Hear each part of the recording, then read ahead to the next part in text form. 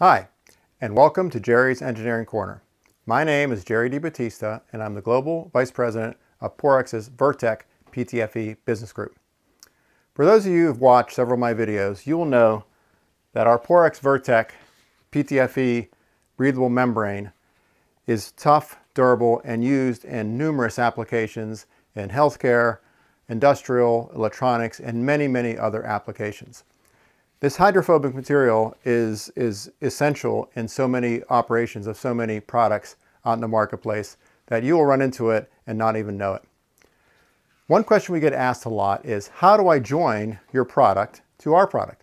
So today we will go through some common joining techniques of Porex Virtek PTFE to a finished product. So today we're going to go through six common techniques. This will be ultrasonic or thermal welding, overmolding, snap fit or clamping, press fit, pressure sensitive adhesive or PSAs, or glue or epoxy. The first joining technique we'll talk today about is ultrasonic or heat staking. So ultrasonic welding is probably the most common way to join Porex Virtek PTFE uh, to its host uh, uh, product. Um, you start off with a strip or typically a roll of PTFE uh, cut to slightly larger than the width of the vent that you need. And then it goes through a piece of equipment called an ultrasonic welder. And then you get a bond to your finished product. Here's one example. And here is a second example of an ultrasonic weld to uh, a finished part. This little short video that we show will show the ultrasonic process.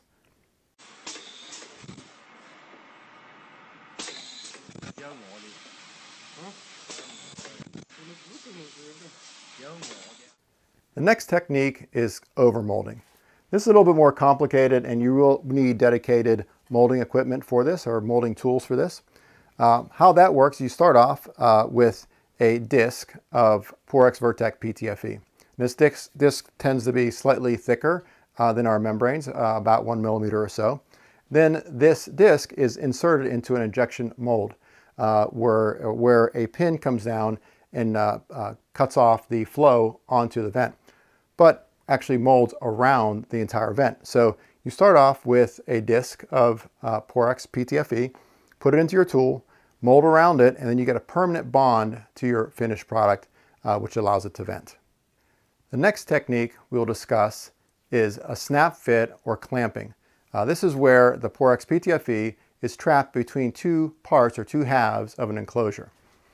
This is an example of how it's done.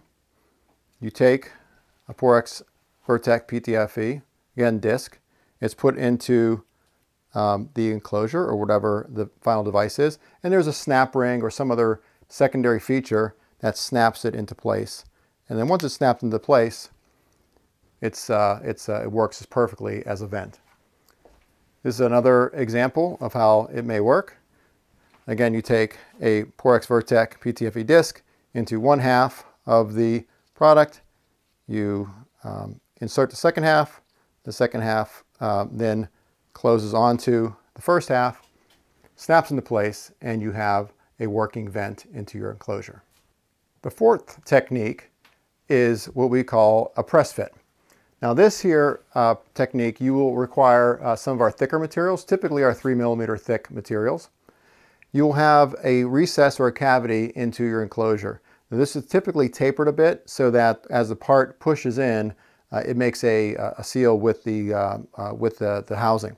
So you take the uh, frit or the disc, press it into its place, pushes in with a lot of force, and once it's all the way pushed in, you have a vent. The next technique is using a pressure sensitive adhesive.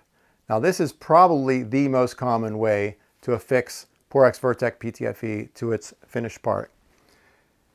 You uh, start with a disc of Porex Virtek and um, about two to three millimeters around the disc you will have a pressure sensitive adhesive and on the inside is open and that's where the product will vent. Uh, these come in large sizes, comes in small sizes, depends on your, uh, your device and how big you need it. You simply remove one of the discs. As you can see here, there is a vent hole in this product. You place it over the vent hole, press on it, and you have a waterproof vent. Very commonly used. This is a waterproof speaker. As you can see, the vent is right here, pressed into or applied into place uh, with a pressure sensitive adhesive. If you recall, the item I showed earlier, this here is a pressure sensitive adhesive disc. This is the thermally or ultrasonically welded disc.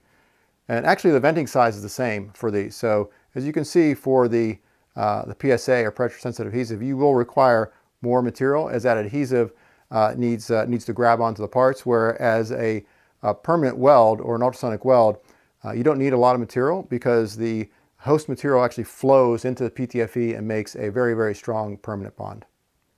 The last technique we're going to talk about is using a glue or an epoxy uh, to affix your disc onto your part. In this technique, you start off with your, your part, uh, you place a hole or drill a hole or whatever, put a hole into your part. It could be molded in place. Then a adhesive or an epoxy is uh, put on or right around the ring of the hole. Then the um, PTFE disc is applied on top with slight pressure. The epoxy or glue will actually flow into the PTFE around the ring and you will have a venting surface uh, again on your device. Again, very common. You can use a high-speed uh, glue applicator for this, uh, very common in the electronics and medical industries. And as you can see, waterproof seal. Product still vents. Well, I hope you found this video today useful and it shows you the amazing versatility and flexibility of our Porex Virtek PTFE in so many different applications in so many different markets. It can be used and applied so many different ways, more so than, than virtually any other breathable membrane out in the marketplace. One other final note, uh, this, uh, this workshop has been a, a, great place for me and you've seen quite a few videos from here. This will probably be the last video you see from this workshop as me and my family are moving to a new location. Uh, one of the nice things about the location is that I will have a much larger workshop. So please look for my next video in probably about a month uh, from my new workshop. Well, that's it today for me, Jerry with a G.